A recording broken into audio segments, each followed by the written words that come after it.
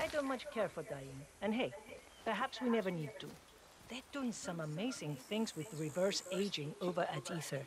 Just you Take wait the and shot. see. Over. And you have no guilt? You've co-